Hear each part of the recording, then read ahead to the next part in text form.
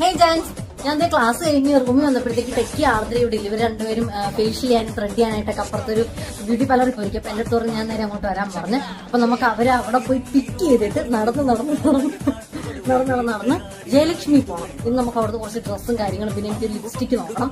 And നമുക്ക് പാളയം പള്ളിയിൽ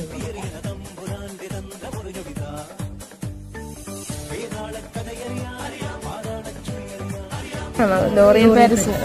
വിചാരിക്കുന്നുണ്ടായിരിക്കും നമ്മൾ എന്തിനാണ് ഇത്രയും പറയുന്നത്? നല്ല രീതിക്കുണ്ട്.